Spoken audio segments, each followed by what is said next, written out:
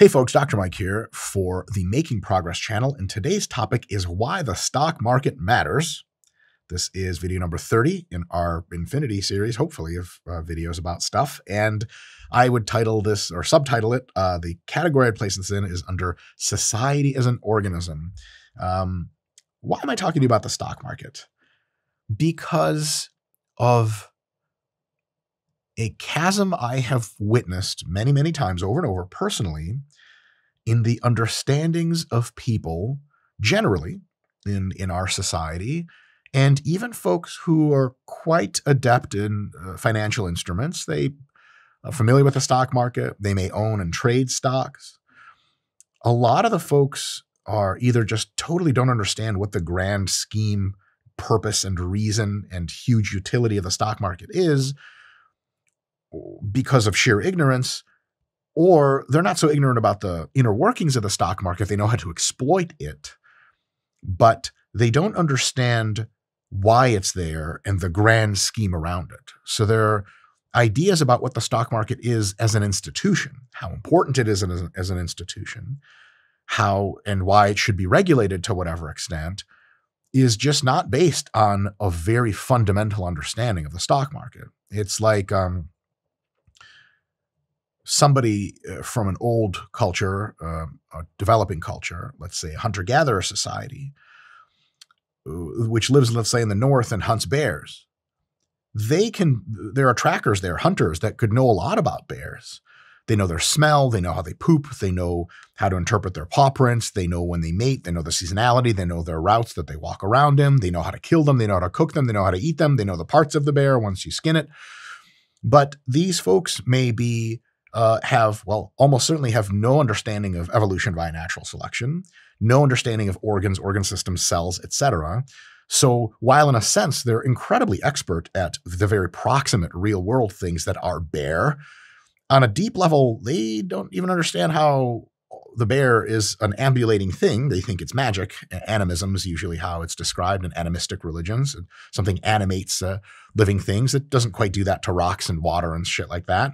Um, and then so the depth of their understanding about bears is um, has a real big cap, and thus, you know, if there's a disease spreading and killing all the bears, they can't do anything about it. They don't understand germ theory. Uh, if there's an ecological problem, they can't understand that. Um, so you can very much, at approximate level, know a hundred times more about bears because you know their scent, you know their poop, you know how to hunt them, you know how to track them, you know their behaviors in another sense, you know almost nothing about bears because someone could be like, well, so what's a bear made of? And they're like, flesh. And you're like, what's flesh made of? And they're like, life force. You're like, nope, wrong. Oh, fuck. You don't really know a whole lot in depth about this, just kind of the surface level. That's not to say the surface level is not important, but it's a huge missing piece. And anytime, most times, when I start talking about the stock market to people, um, they understand buy, sell, trade, options, shit like that. Some of the things I don't understand actually so well. But if you peer beneath the surface, most people have absolutely no idea what the stock market is, why it's important, uh, how it works, and what its purpose is for our society. So I figured this video we could dive into that. This is not a financial advice video, um, though there are some uh, implications here that are, are very, very banal uh, for financial advice. No, no hacks, I promise. But it may give you a really good basis of understanding what the stock market really, really is, just to further your understanding of the world and potentially make you a better voter so you can vote on better policy and a little bit better of an investor because you know kind of the the potential of the stock market and why probably shouldn't be um, underrated too often. So we'll talk about the basic concept of stocks, the teamwork dynamics that are involved in stocks, the simplest way to understand the stock market, the information functions of the stock market, super important, the future of the stock market, and how intelligent regulation can help this process. Uh, the stock market entity along to continue to do all those good things that it does for us. So, really basic concept of stocks first. Stock in a company is really straightforward. You can understand it in a bunch of technical ways. We're going to talk about exclusively non technical ways today. A lot of the things I'm going to say are, if you zoom into very specifics, poorly articulated because they're not articulated using financial metrics. But uh, Anyone who has formal training in economics or anything like that, please do comment on the video to tell me if I've made any grand theoretical mistakes.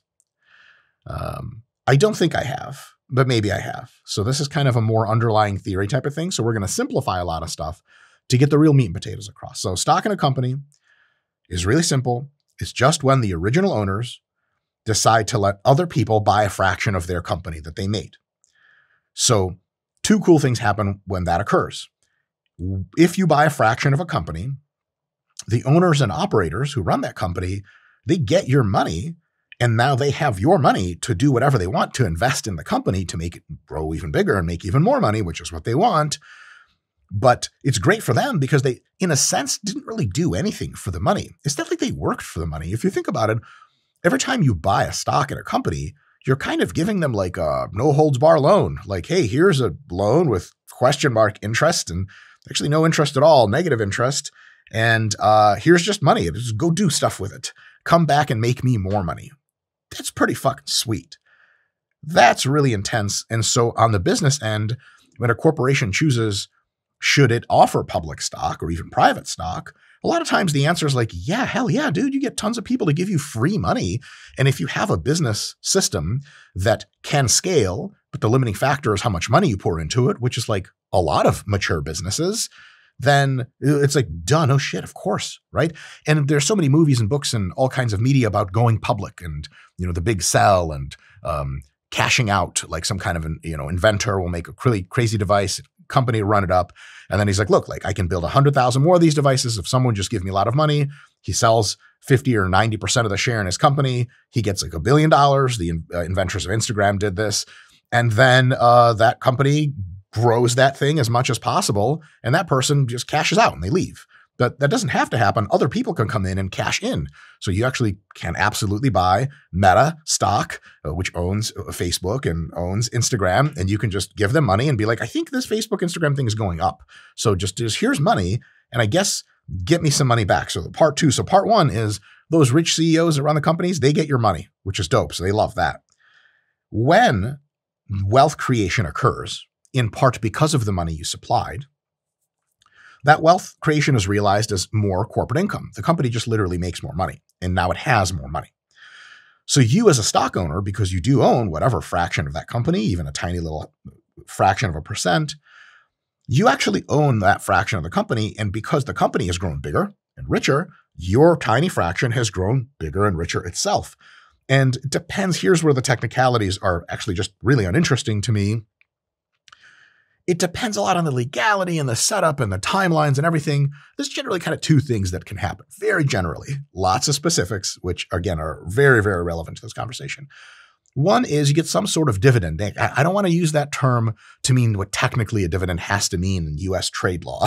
Um, some kind of way in which the company goes, hey, like, your part of the stock is making money. Do you want some of this money? Because we just pay you every XYZ every month, every year, or whatever, um, because like we're making money on your money and whatever fraction is yours, you need to get that because that's yours. You gave it to us and it's still yours. Right? You didn't just give it away to us. You you didn't sell it to us. You bought our fraction of the company. So like your fraction made money, here's money. So you can get money like that as an investor from companies that make money. Or you can take essentially that same amount of money and go, you know what? I don't need that money. I want you guys to just keep using that money that you generate from my shit that I gave you and just turn it back into the company and make that cycle go up so that the amount of stock, the wealth that I have in your company, like if I have a million dollars in Apple, I don't want like $50,000 every year from Apple. I just want them to take that 50K, dump it back into a million. So now I have a million, 50 million, you know, 100 million, 200, et cetera, all the way up to 2 million after some number of years because Apple gives me such great returns, ostensibly, that actually, if I took the $50,000, I'd be like, all right, where do I put this? I don't need to spend it. I already have a job. Uh, oh, yeah, that's right. Apple is really good at making me more money. Here's that shit back. So basically, one of two things you collect immediately right off of your money, or you let that cycle in and the wealth grows more. Either way, your personal wealth grows, whether it's at home in the bank or in that fraction of your stock at the company. And again, this is kind of great for you because in a some kind of sense that you you guys and if uh, you know all good faith on this channel by the way all good ever only good faith interpretations of each other's views in a very good faith interpretation quote unquote you didn't really do anything for that money either if you think about it. Now, of course you did. You did your research. You you you earned that money, hard earned that money that you initially put in. But once your initial money is in and the company's generating wealth off of it, like they're doing all the work and you're getting fucking paid. Now, hey, they get paid too, but it's kind of like you wouldn't just get paid off money if it sat under your fucking bed. That would actually technically by inflation lose money, but we could say, yeah, at the very best, just not gain any value. But if you leave it with a company, it grows in value. So we have this magical, uh, very similar thing that happens when you go to a gas station and you buy a bottle of Coca Cola uh, it's, it's the double thank you moment, is what it's called. Very, very unique uh, and uh, a little bit special to capitalism. Is where I give you, rather voluntary free exchange, which capitalism is based on. I give you a dollar as a gas station owner, and you give me a bottle of Coca Cola because to me, that bottle of Coca Cola is better than a dollar. I win. But to you, that dollar is better than the bottle of Coca Cola, so you win. How the fuck do we both win? Well, think about it. If you have an itch on your back and I have an itch on my back and we can't reach our backs, we just scratch each other's backs, other than being oddly arousing, we both win. Actually, nobody loses. It's a literally win win. If you really think about what voluntary exchange is, it ends up just benefiting huge win win interactions, which is what the stock market amplifies like crazy. But that win win in the stock market is the people who are made a company and who just don't have enough money to really gas the fucking thing, they can look to all the other people around and go, Do you guys want to give us money for free? We don't do anything for it. Just give us money.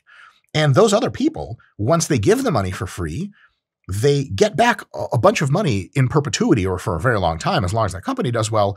And then they don't do anything for the money. So both people initially, they, just humans out in the wild, worked for their money that they're going to give the company. But the company is working on its own systems and processes. It just doesn't have money. So once the company has money, it sort of gives it back to you. But it's better than back because it multiplies your initial investment, which is a huge, huge deal. There is a teamwork dynamic to this. I said it's mutually beneficial. If you have a multi party system and everyone mutually benefits and starts to work in a coordinated way, what you have is a team.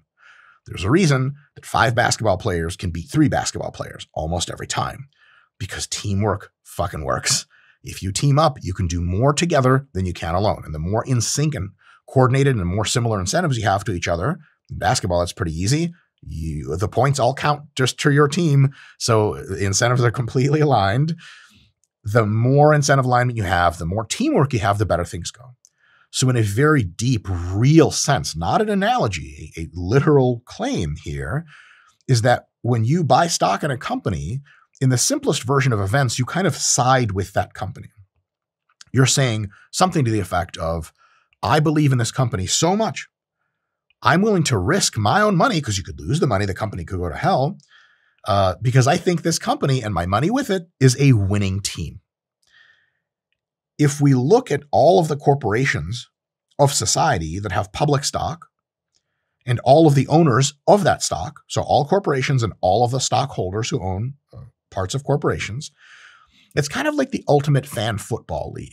The teams are uh, are the corporations who create value. So I'm on Team ExxonMobil and Team General Motors and blah blah blah. I'm on all the teams, and by buying the stock, in the sense because not in a sense, in the very reality, the fact that you now co own the company, you just bought yourself onto that winning team. And your incredible, generous thing was to give that team more money. They needed your money. That's why they sold you a piece of their company. And you needed a piece of their company because that's going to generate money for you later. You just joined that team. As a player, in most cases, as a stockholder, your only play is to just give your team money and be like, all right, have at it. You can get involved in other ways in a company, but at this very base level, it, this system of stock markets allows people to join winning teams with only the submission of their money. You worked hard somewhere else. You are a mechanic, you were a car salesman, you made fries at McDonald's, you were executive assistant at a huge firm, who gives a shit what you did? You got some spare money? You can take it to mega corporation, give it to them, and they go, thanks. We're going to do our best to make more wealth out of this. And you now own a part of that. You're on our team now. That's a big deal from a philosophical perspective. The bigger deal is that you can invest in index funds and other sort of broad spectrum funds, broad market pathways, where you sort of are actually on all teams at the same time. You're on team corporation because you think that companies in general are a winning team. So, for example, part of my investment strategy, the biggest by far, is to just buy broad spectrum, essentially index funds. I don't have the know how to tell you if Intel is going to do better than Cisco systems or anything like that. I have no clue. Most people don't know. But I know that the semiconductor industry, at the very least, is going up. And if it's not going up, I know retail's going up. I know construction's going up.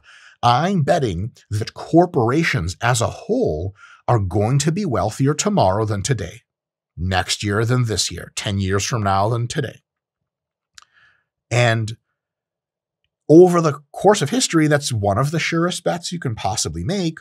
But it has a real interesting philosophical thing where anytime I see an oil refinery is blown up by accident or a harvest went poorly, that, that shit hurts because I'm on that team. I own general broad spectrum stocks, which means anytime something goes bad for humanity's ability to produce wealth through the corporate sphere, which is 90 something percent of its ability to produce wealth at all. Corporations do almost all the wealth producing. Uh, I'm on that team. And if that team does great, I'm feeling fucking fantastic about it. If that team doesn't do great, I don't feel that great about it. So just by buying stocks in all the corporations essentially that are possible, it takes an individual human from society and it puts them in a very real sense, skin in the game type of way to being allied with everybody else that not some government contract, not some you're an American, I'm American, so we're friends, something deeper. Putting your money where your mouth is, putting your money behind the rest of society, betting on society. That's a big deal. That's the stock market at a deep fundamental level. Now, there's a downside to betting on everyone. The downside is you're unlikely to see 10x returns in a year uh, because some companies do well in any time in the stock market, but so many of them. Some do poorly. And then on average, uh, you get a realistic kind of 5 to 10% annual increase, uh, annual return. Uh, you could do better if you picked individual stocks very well. Now, the fraction of people that pick individual stocks very well for a long time is tiny. So zero. It's very close to zero. Uh, quantitative hedge funds with PhDs in astrophysics, rigging supercomputers can do it pretty well. Renaissance Technologies, you can Google that, see what they are.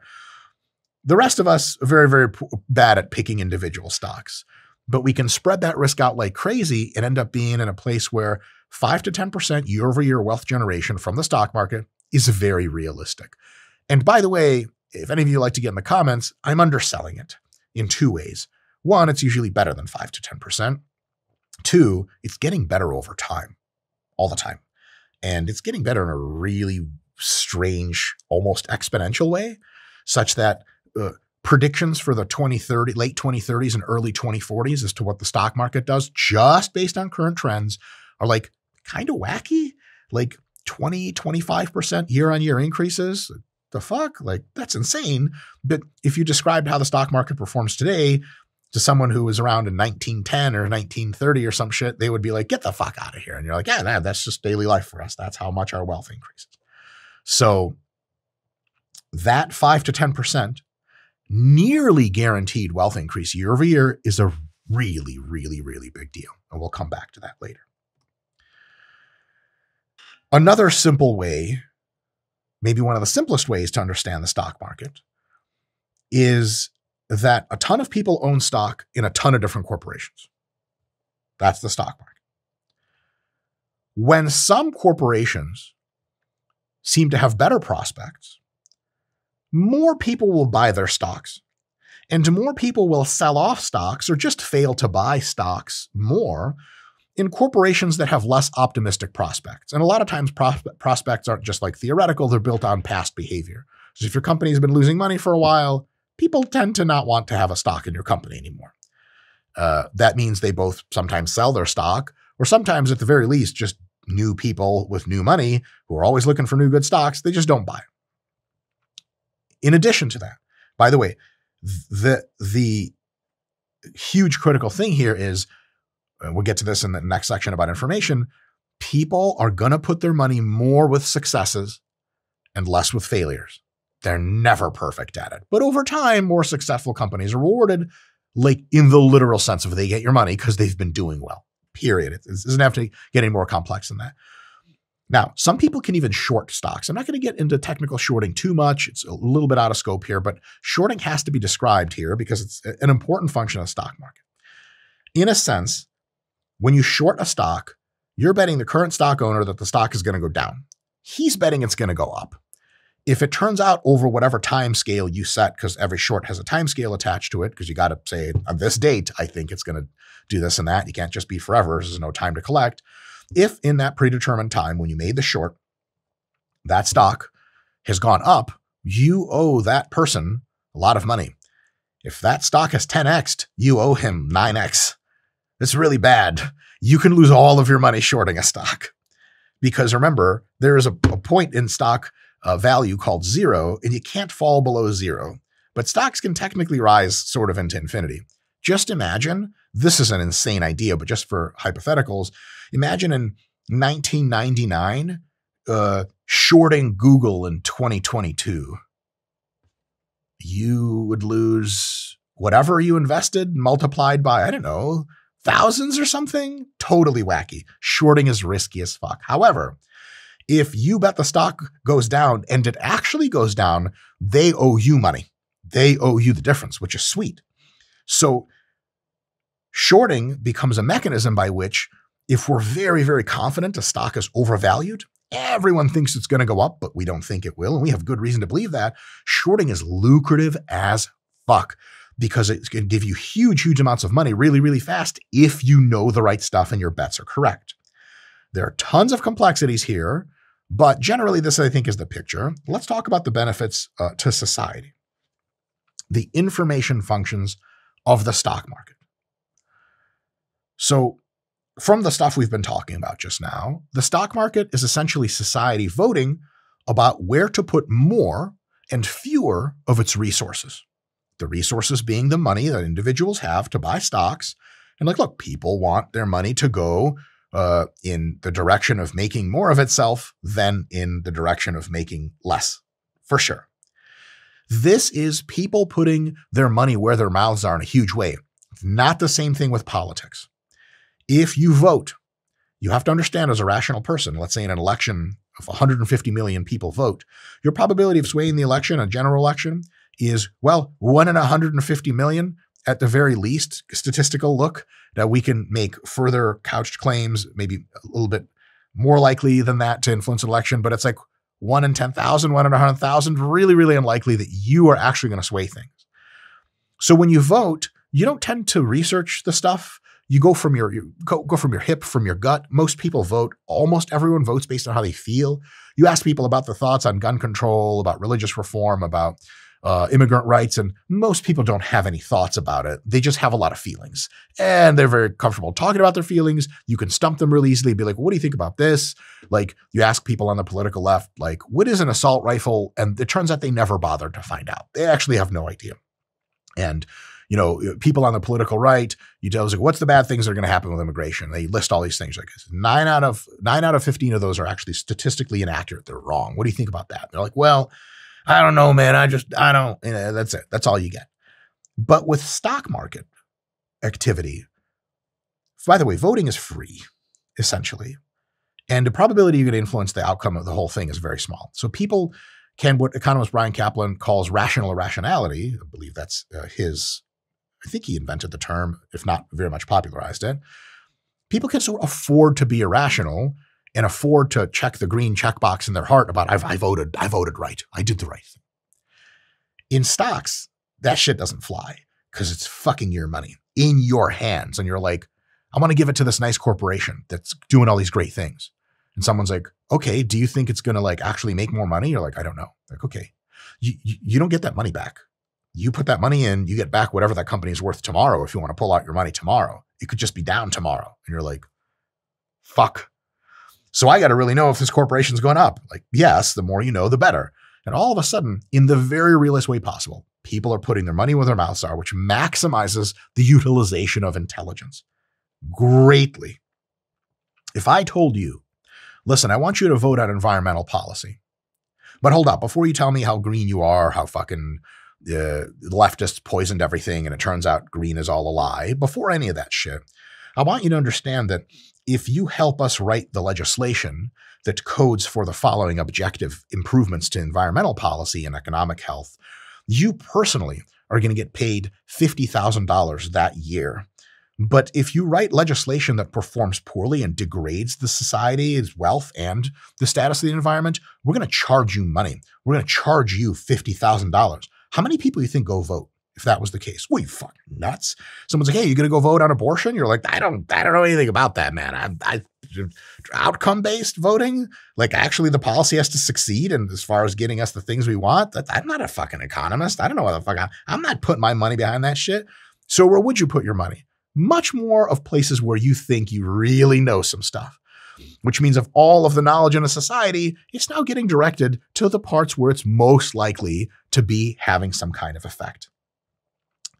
Huge, now, this is in the idealized version.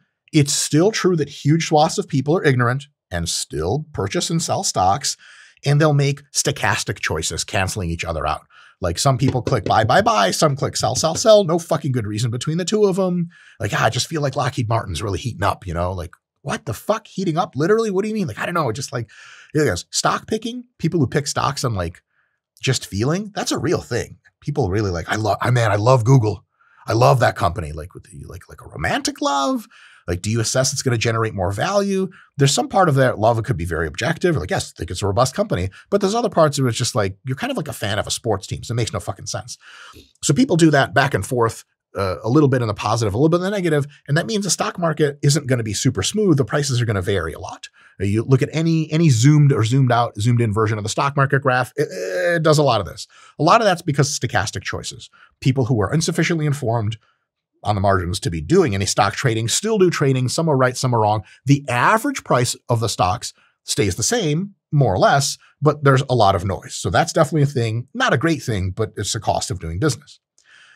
In addition to that, huge swaths of people are irrational, sometimes predictably so. Sometimes, on average, many people will display the same kind of irrationality. And then they'll make really biased choices that are not logical that cause value degrading moves in the stock market. And by that, I mean the, uh, the following there's a certain more true value that any given stock can be assigned, like uh, Pepsi Incorporated could have just hired the world's best CTO, best COO, new CEO that's a fucking stud. They got very low debt. I'm just pretending, by the way. And they've got this crazy ad campaign, new drinks that are fucking unbelievable. And you just happen to know that that's the case. But Pepsi stock is valued here. You're like, bro, Pepsi is going to the fucking moon. And so if you know that sort of thing about Pepsi, then you are making a very rational choice by saying it's undervalued. I want to buy the fuck out of that stock because it's going up. But if other people think that Pepsi sucks because whatever reasons.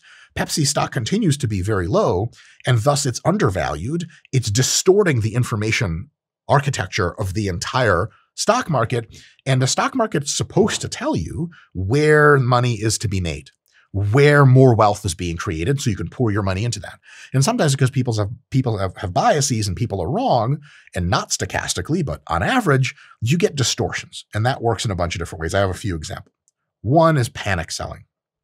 Panic selling is when you realize the stocks you own are going down and you just get really scared. You don't want to lose money. Bad news, you've already lost money, but you say, okay, I'm just going to put a stop loss on this. I'm not going to lose past a certain point. I'm just going to sell.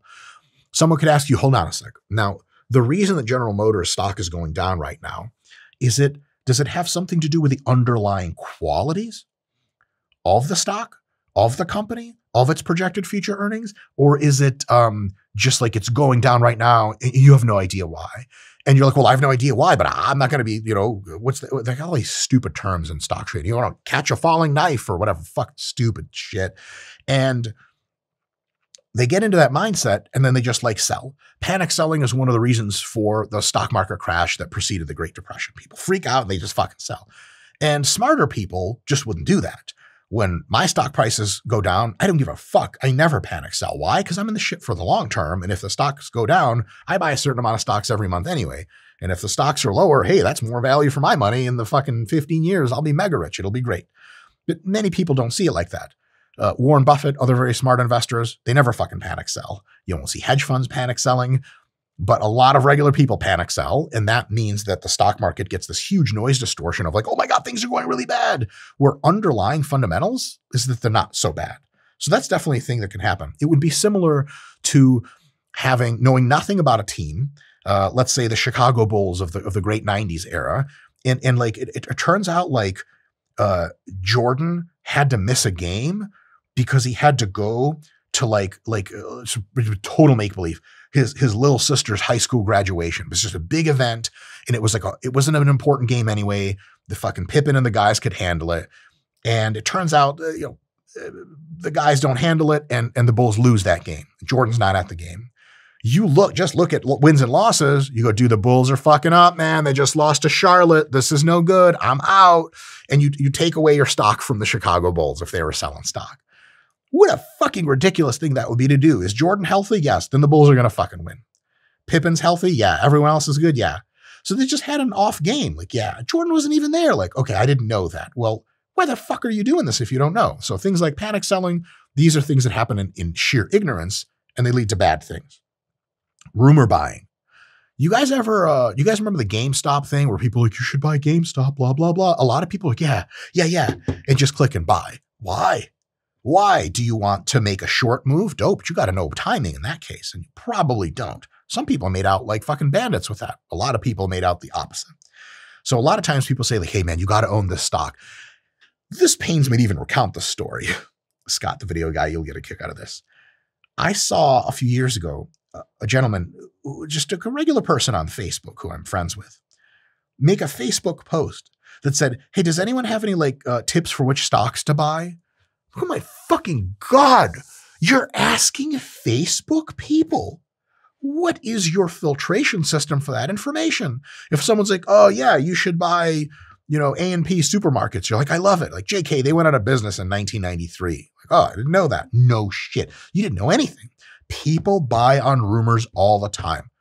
Tesla stock, I think fundamentally, probably, though I'm guessing, a great stock for long term value, has been so far. But there's a crapload of people that when Tesla has a bad day will just panic sell. And there's a crapload of people that will rumor buy like crazy. Someone's like, they got a robot coming out. Like, robot, buy, buy, buy. Like, you don't even know anything, about the fucking robot. What are you doing? People do that all the time because a lot of people, even in the stock market, much less than in politics, because it's money where your mouth is, are still irrational and biased in predictable ways. Speculation can be added to the mix. So there's all these kinds of nasty trends which disrupt the information uh, fidelity of the stock market, so to speak. They're absolutely real. So the stock market is not perfect, 100%. Scott, you got any uh, Facebook uh, recommendations, by the way, for stocks? AMC. AMC is great. Um, do, here's the thing Will people ever stop watching movies and eating popcorn and drinking soda? Of course not. AMC is the easiest stock you could buy. You're betting on America. As a matter of fact, I, I, I, would, I would surmise it to be unpa- unpatriotic not to buy AMC stock. I agree. Listen, I have like five. Five stock units. yeah, yeah. Just in case. Just in case. So here is where the shit really opens up. Two types of stock market activity. Yes, there's noise. Yes, there's air. But two types of stock market activity act as massive information clarification systems, processes, vehicles. They clarify information so that you can make better choices and so all of society can make better choices. How the fuck does that work? In two ways. One is long purchases, and two is the shorting system. So for long purchases, over time, those who go long, going long, by the way, means purchasing stock and like Apple and just being like, for the next 10 years, I'm not doing shit about it. Or you just buy more Apple stock every month or every year for 10 years. You don't give a fuck. Long investment. Something you would like, uh, let's say you're dating a girl and you're like, this is serious. You're not just going to like ask out on a date some other girl randomly at the bar the next day because you're like, I have a girlfriend. I've been investing long into this relationship. Hopefully it pays off. Maybe it won't. Who knows? over time, those who go long and effective corporations, think Warren Buffett, not, not even remotely the only example, end up making money. And this kind of behavior becomes more and more rewarded, which is sweet. This results in a higher fraction of total societal resources, literally in the form of money, flowing towards supporting the most value generating long term companies. Those people that make money in the long view on companies are clearly betting on companies that on average do better than companies that fail. So you're essentially collecting companies that have survived for five and 10 and 15 and 100 years in the stock market with it just better. The stock market, because people choose winners and losers all the time, and if you lose long enough, you're out, is an, a really interesting microcosm of natural selection, artificial selection in a technical sense, because people are making it. But what you get out of that process over 10, 25, 50, 100 years are super corporations. They're just better at what? At everything. They're just better at doing their shit. Coca Cola makes fucking amazing products. I don't know how the fuck they do it. I know sure shit their competitors are scared as fuck of them. They got that shit worked the fuck out, which is why Coke is a nearly sure bet. It wasn't always a sure bet. Coca Cola started, you'd be like, I don't know, that fucking weirdo started some soft drink company with fucking brown liquid. It looks like liquefied shit. Fuck would I drink it for? Oh, wait, it's got cocaine. Thank God. Sign me up. But nowadays, it's a damn sure thing. So there's more and more societal resources going to perennial winners if folks are incentivized to uh, invest long term in the stock market. It literally makes society give money to long term winners more and more over time, which is amazing because here's what it does. As a system of evolution, it codes for greater and greater wealth creation. If I have a computer program that writes 10 programs. Each one's job is, let's keep it simple, is to type out sentences that a human would type out, just random gibberish. Like, oh, yeah, that looks like a human wrote it. If we reward the one out of 10 computer programs with that writes the most human like sentence with double the computation throughput, which means every company that's, sorry, every company, every little uh, computer program you write out of those 10 let's say, writes a page of human like text per minute. The companies, let's say we split them 50 50, the top five best get uh, two pages now to try their best. And we combine all the sentences in the two pages. We do another cycle of that. All the companies do what they do. We still have these 10 companies, quote unquote, 10 little computer programs. And now we, again, to the top half, we give more computing throughput. Now they get three pages.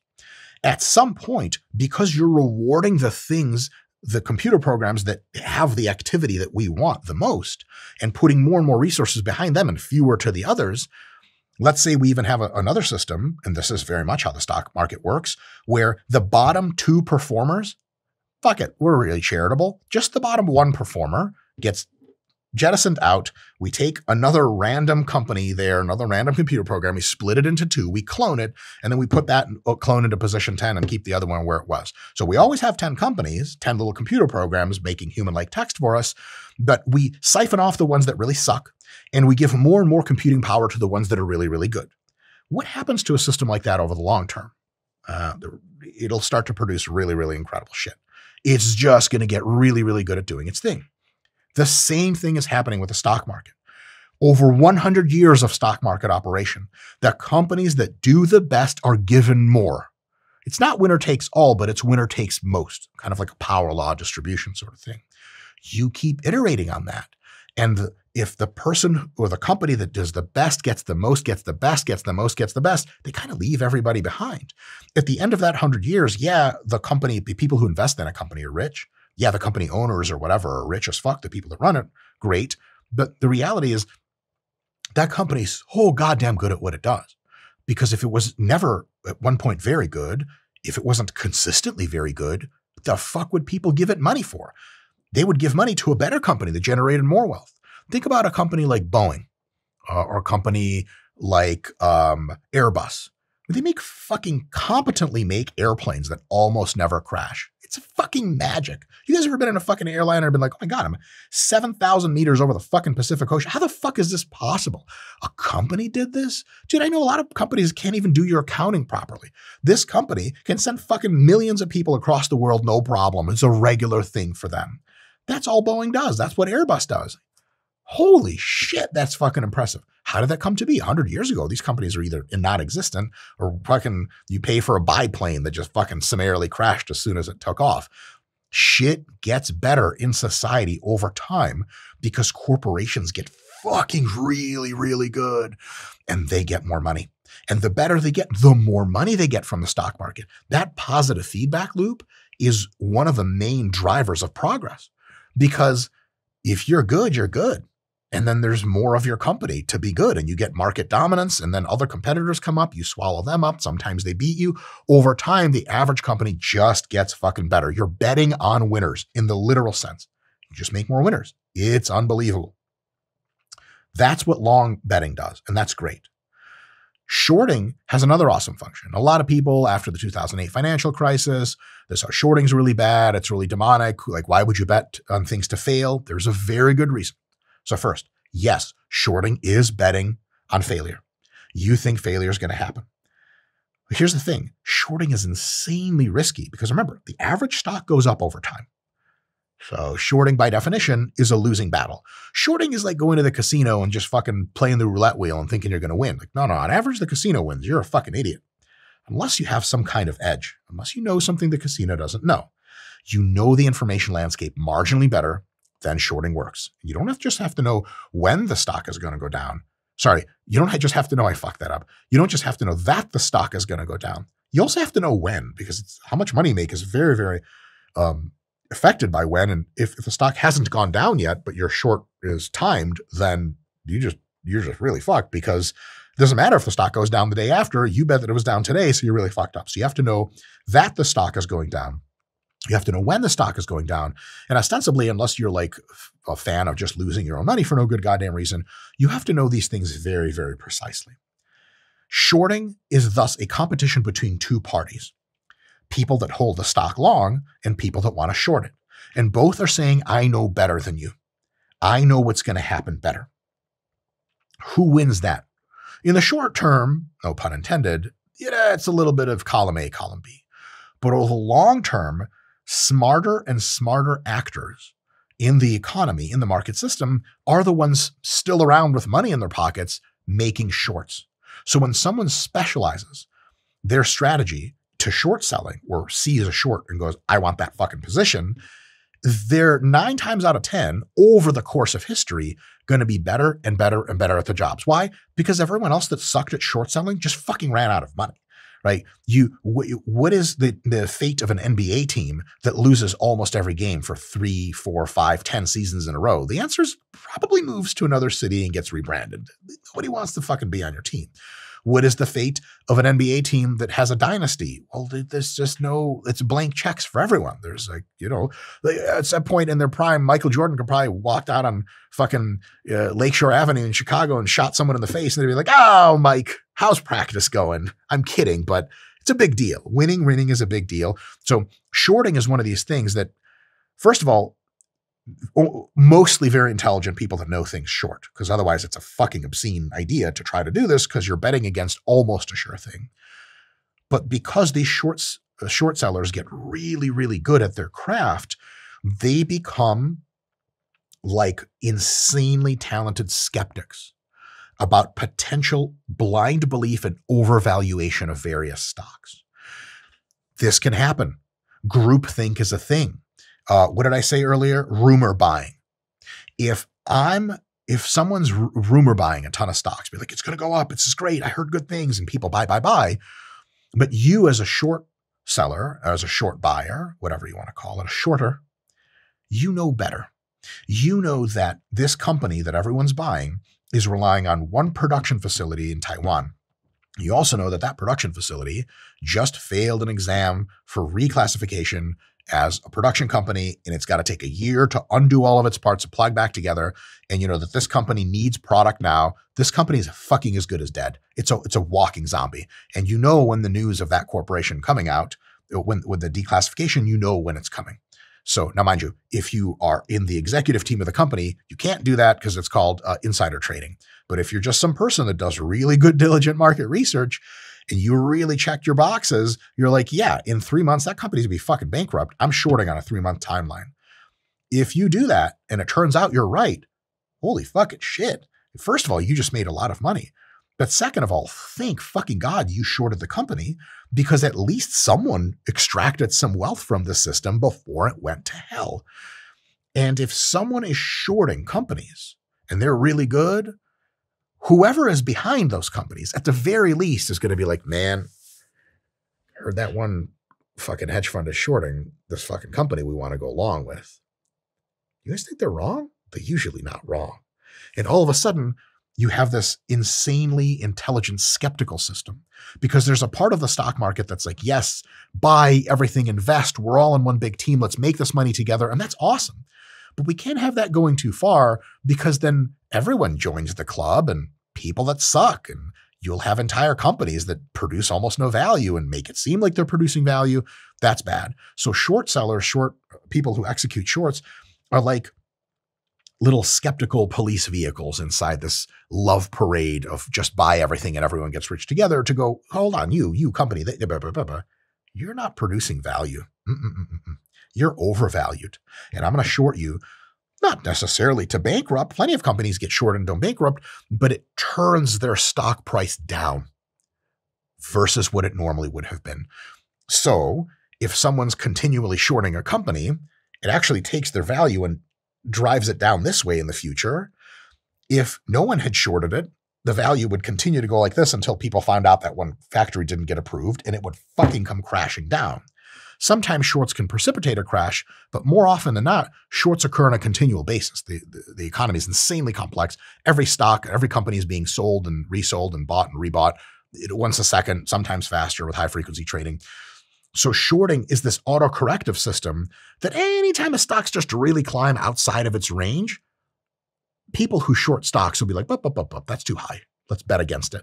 And then because the bets are public, everyone's like, oh, wait, hold on a second. It's getting shorted. Let's let's be easy. Now, if the underlying fundamentals are fucking good, two things will happen. First, people will stop shorting the stock as often. You don't short a fucking sure thing. What are you nuts? But also, because that stock's value will be less impressive than normal, once it's even if it's being shorted continuously for no good reason, month over month, that fundamentals of the company are really, really good. And the wealth is really good. So you're like, dude, this is the most undervalued stock in history. Buy, buy, buy. And then you buy a crap load of it. A ton of people buy. The stock price starts going up. There's another reveal, you know, fiscal year 2025. The fundamentals are fucking phenomenal. And then the stock just keeps going. So shorting isn't a bad thing. It's a skeptical check.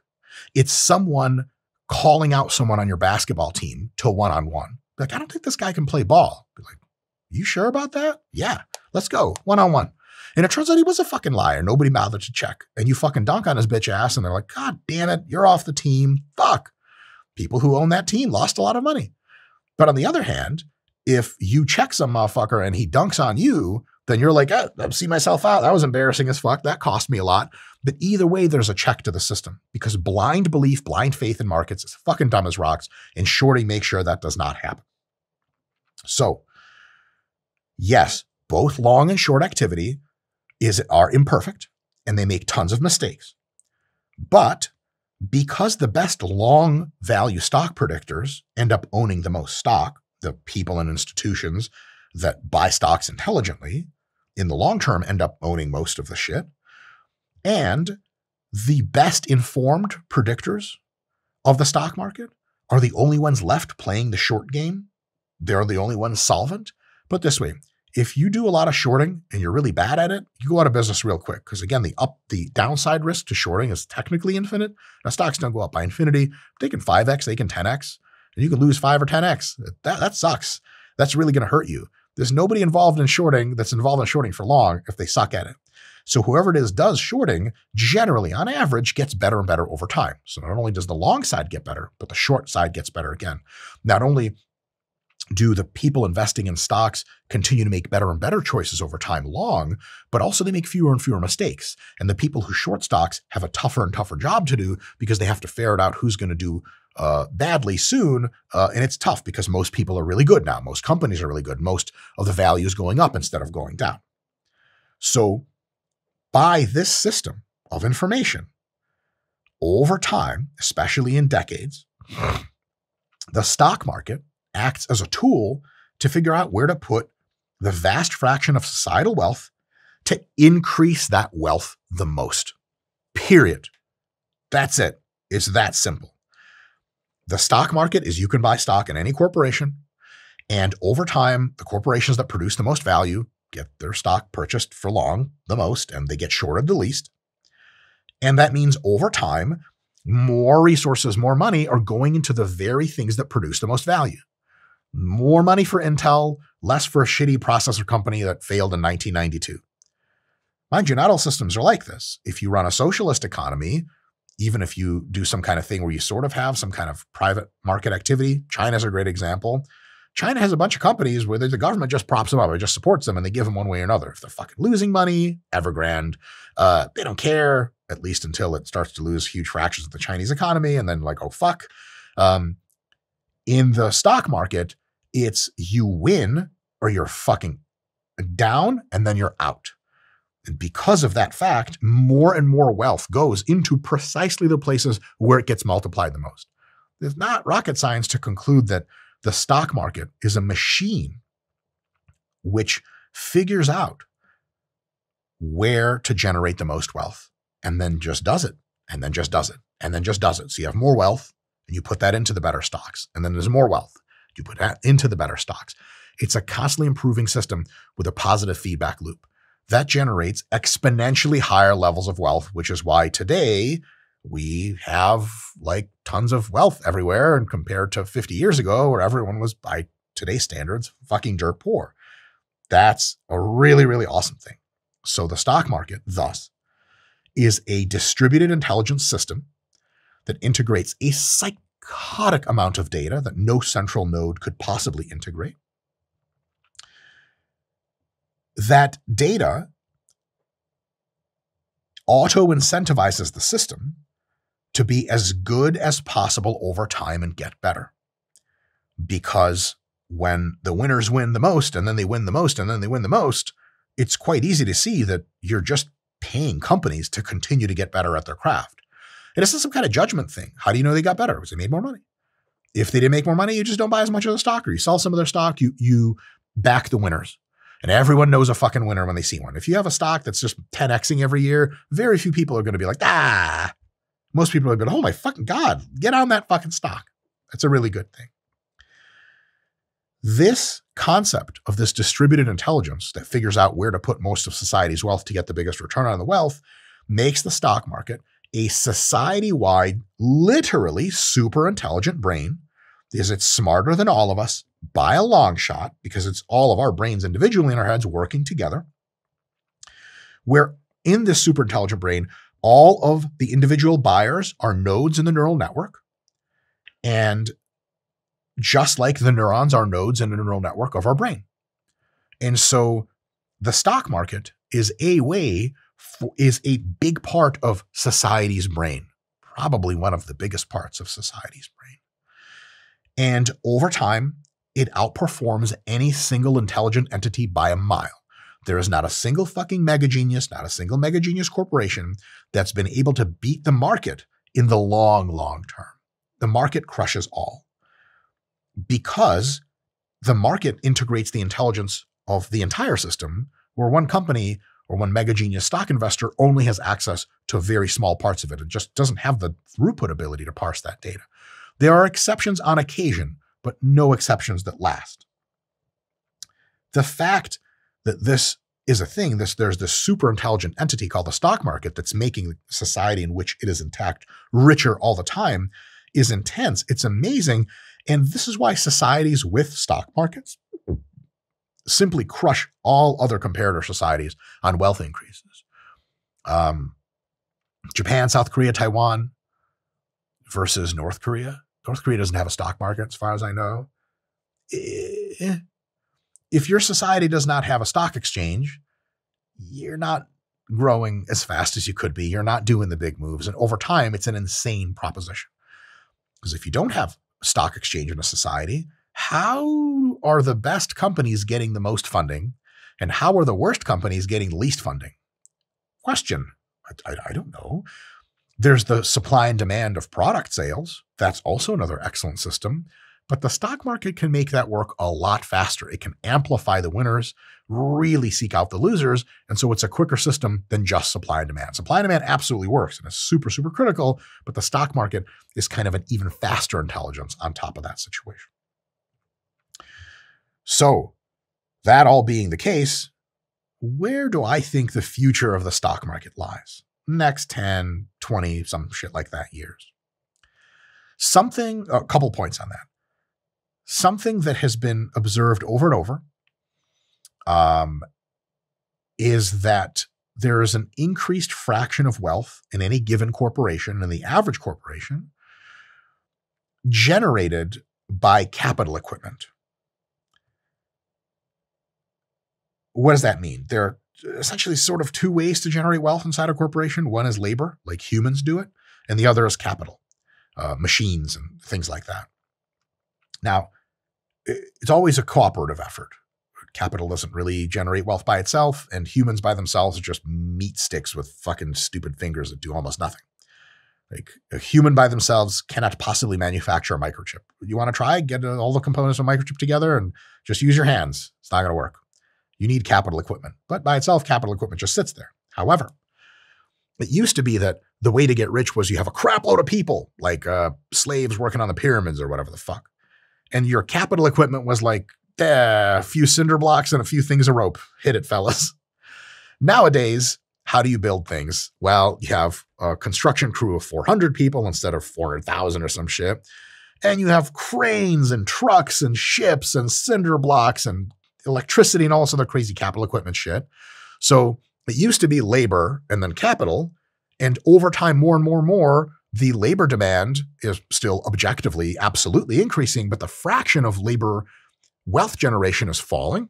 The fraction of wealth generation from capital equipment is rising, predictably, on an exponent in addition to that.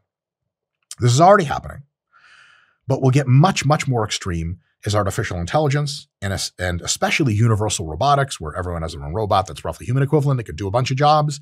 As those things ascend, I mean, they have systems right now in testing and in the wild that are uh, GPT based that can actually do a, a few tasks for you quite well. You just prompt them and then they do them. That ability is going to skyrocket over the next forever. For sure, in five years, you'll see the crazy, crazy thing that humans will inevitably take for granted two days after it's a thing. Be like, yeah, of course robots do all our work. Duh. Like, really? Isn't that a miracle? Like, I don't know. Like, there it is. He's washing the dishes. What he does that will become more and more extreme. And there's a really, really awesome situation there where the wealth production can get really, really insane because humans can only produce so much wealth with their hands. The more humans have access to an increasing fraction of capital equipment, and that capital equipment is increasingly autonomous, uh, the better things go. So, people who hold stock in companies today, if they continue to hold that stock and they buy as much, not as much as they can, but they buy more stock all the time, they can ride that wave up big time and see some really gnarly returns in the future, which we're just not getting today in companies. Returns on companies in the future are going to be better than the ones today by an exponent, which is a really, really big deal. Now, in 10 or 20 years, we might have a stock market in which the vast fraction of corporate wealth that is generated is via automated and autonomous systems. Uh, you can imagine AI and robotics driven factories in which there's one human factory foreman and like 10,000 robots. And the foreman's like, How's everything, fellas? And they're like, That's good as usual. Okie dokie. Keep it up. Right? If you think about it, that's kind of crazy. But think about a modern truck driver. Take a modern truck driver back into like the 1600s. You just, the guy shows up. There's like, okay, we got the ship here that arrived in port. It's all fucking sails and shit. And you're like, okay, there's like two tons of boxes that need to get off the ship and then we need them in town 50 miles away. What can you do for us, Mr. Truck Driver? He's like, Yes, no problem. He's like, Okay, where's the people that are going to help you? There are no people that are going to help me. What? The fuck are you going to do? You're going to carry this shit yourself? Like, no, I got a truck. Like, what's a truck? It's a piece of capital equipment. They're like, what's that? You're like, let me, let me show you the truck. They look at it, they're like, holy fuck, fuck, what the fuck is that? Where are the horses to drag it? You're like, that doesn't have horses. They're technically in the engine, something like that. In any case, watch this. Pallet, put them on the shit, and just drive off. You're like, how the fuck is one guy moving tons of equipment? So with capital machinery. So when I tell you there are is a future in which one factory foreman can uh, be in charge of a factory that's half a square mile and produces thousands and thousands of pounds of goods every every day, you'd be like, that's crazy. Like, why? It's just an extension of the same trend. And if AI and robots are really, really coming up, it's inevitable. I don't even know, know we need to have that guy. You could have entirely automated factories, and guess what stockholders make off of that? A ton, right? So this f- earlier automated part of the economy is going to generate immense amount of wealth and this is something humans alone, and even humans in parity, 50 50 labor and capital, can't produce by themselves. They can't generate it, not on the margins. They don't have crazy returns like that. Machines often don't need to sleep, etc., or on volume. I mean, there's just not that many people. You can have machines generating crazy volume that you would need an infinite number of people to do. There's just not that many people on earth. We're just straight up run out of people. So, this sector of the economy, so we have corporations, it used to be that there was a lot of labor a little bit of capital.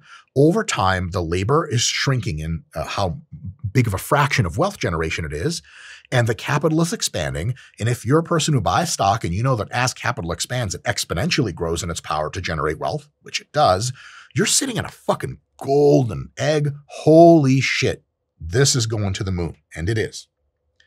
If lots of people own shares in this sort of market, they can ride up the wave as their fraction grows bigger and bigger because machines are doing more and more of the value generation. Here's a real simple idea about where this could go in the future. And I'm being intentionally very conservative, though in reality, this is going to be much more optimistic. Once someone owns enough stock, total, that a 5 to 10%, which is what it is now, rough annual average return covers their living expenses, they are essentially universal basic income in perpetuity. Without anyone's help, by the way. There's no government giving you money. It's not taking money from someone else. Because you own some fraction of these miraculous capital machines, these wealth generators, because you technically, literally own a fraction of them, you are entitled to some money that they produce. And remember, these are machines. So they're not like, well, we don't really need you and we're going to rebel. Like, they don't give a fuck. They do not have the capacity to give a fuck. So let's say a private citizen owns a million dollars in all around stock in the economy at some point. That means that every year, if they want to just keep a million dollars in the stock market and no more, they can take out something like fifty to hundred thousand dollars, live on that, and just never need to work again. The more we can get more people to get up to that amount of total stock holding in which they can live off dividends alone, the more we liberate people from ever having to work. Now, you could sure shit work. Work has a ton of amazing benefits. I'll probably make a video about that at some point. Psychological benefits, um, and uh, of course, it's more fun to work than not. And also, it makes you even more money. Once you don't have to work, you realize like, oh, I'm still going to work and get even richer. Fuck it, why not? But the idea that you're past having to work if you do this, I just want to take a quick moment to appreciate how fucking insane that is. There are people today that do this. Anyone today with over a million dollars in stock, technically speaking, never has to work again. Right? And if they have two or three or four or five million, they for sure don't have to work again. Almost for sure. Some kind of crazy cataclysmic asteroid hitting the earth would have to fuck that up. One of the critical understandings of humanity over the course of civilization, probably much earlier, but at the very least 5,000 years from now, all the way to today, was that the base conditions we have inherited from Mother Nature are the opposite of wealth. You walk into the woods and you're like, oh, it's so beautiful. And it gets dark. You're like, I need to go home. Why? Because home was something that was arranged by humans through their fucking hard labor to be a better place to be than out in the woods. And if you're going to survive in the woods, you better get ready to work and pick up a fucking shitload of sticks and put up this little leaf house so the fucking rain doesn't come down on you, the bears don't find you, etc. It's been philosophical underpinning that in order to exist, because nature is rough and it's trying to kill you all the time and it doesn't just provide you free food and housing and whatever, you have to work. You have to somehow modify the environment around you in order to make it more conducive for yourself. This is like facts, life facts 101. This is some shit you teach like four year olds. Like you, the reason you don't have juice in your mouth right now is because the juice box is at the store. It doesn't magically arrive from the store. We have to go to the store. So the four year old sits in the back seat in the little kid seat on the way to the grocery store. He wanted the juice box now, but he's got to wait 10 minutes. And he's like, fuck. Okay, my mom has to do some kind of work. She has to step on the pedal and turn the steering wheel, and we have to wait for a time delay until I get my juice box. And that's an early lesson about like, if you want some good shit to happen to you, you physically have to fucking work for it, which is, is, is great that time may be coming to an end. For many people, not fractional many, but numerically many, anyone who has more than a few million in the stock market, that is no longer the case. They actually can just live in perpetuity off of the investment they made early into this stock market situation, which is crazy. Talk about paradise on earth. I don't know, man. How do you contend with that? An infinite wealth increaser that all you do is you put some effort into it early and then the rest of the time you're like sort of good to go. That's wild. It's a huge deal and is the way that we will be pulling every single human being eventually out of poverty, probably forever. Unreal. That's my prediction for the future. Quite humble. Lastly, how can intelligent regulation help? This is where you take your voting shit to the voting booth and make sure you vote right so we can have a better future, all of us together, get more progress than less. Things that are very good for stock markets, universally. I can think of three of them. One is a high degree of transparency, making sure that people have uh, access to as much of the right pricing and performance information as possible. Like if I'm trying to invest in Apple, I want to know what the fuck Apple is doing, what the fuck their stock price is priced at now, and what it's been priced at for all the points before. If I don't get that information, it's totally opaque. Fuck would I bet my money on some shit I don't even know. The more transparency you have, the better. Countries which uh, their political institutions and cultures lack transparency and they have a lot of corruption are non-starters for stock market. You guys want to go invest in a bunch of companies in Kenya or some shit like that? Dope. Hey, good luck.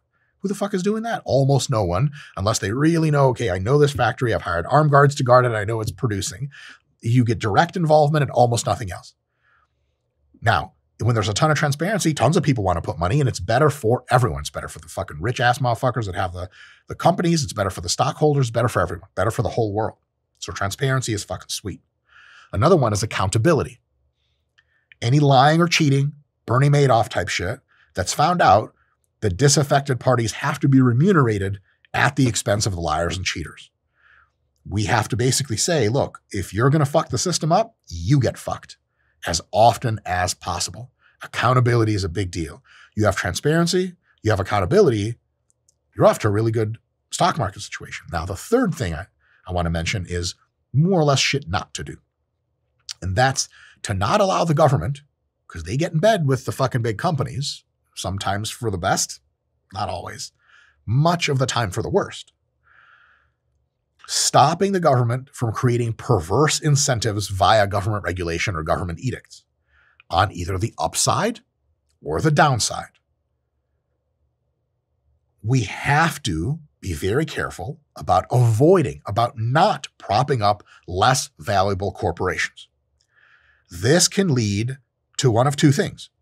If a corporation kind of sucks, but the government's like, no, no, no, no, no. Give it more money, give it loans, uh, give it a good credit rating, keep it going. We're on the same team, but it but it sucks. It needs to lose. It needs other corporations to beat it because we don't give a fuck who wins and loses here. Approximately, they're all fucking rich anyway. These motherfuckers, and all the skilled labor doesn't just blow up. The factories don't explode when they get sold. They get sold off for parts, and every person who is skilled labor just goes to work for some other company. No, Apparently, that's bad. So we want to save companies that suck dick because it's politically expedient. That's a bad idea. You end up conserving companies that suck and they just cost you more over the long term. Example, the big three car companies in the Detroit metropolitan area in which I'm currently making this video Chrysler, Ford, and GM. Over the long term, kind of blow dick. I believe all of them, uh, don't quote me on this, have been rescued a few times by the government, and that should just straight up just never happen. Now you've got Tesla and a couple other car companies fucking these people in the ass. In the 80s and 90s, you had Toyota and Honda and all that shit fucking them in the ass. And these companies are, oh, oh my God, they're losing crapload of value. They're not realizing real value. All of the entire car industry that is currently making GMs, Fords, and, and Chryslers or whatever probably should just be working for a company like Tesla. But that hasn't happened yet because the government keeps propping them up. They need to go out of business. Going out of business is the same thing as cutting a shitty basketball player from your team.